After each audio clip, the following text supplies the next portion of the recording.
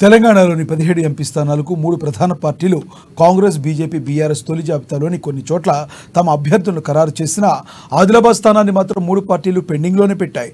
దీంతో ఇక్కడ ఆశావాహుల్లో టెన్షన్ రోజు రోజుకు పెరిగిపోతుంది. ప్రధానంగా గెలుపు అవకాశాలున్న బీజేపీ కాంగ్రెస్ పార్టీలో ఇది పీక్స్కు వెళుతుంది. టికెట్ తమకే దక్కుతుంది అనుకునేవారు టికెట్ కోసం దరఖాస్తు చేసుకున్నవారు కూడా త్వరగా అభ్యర్థి పేరు ప్రకటిస్తే తమ గుండెలు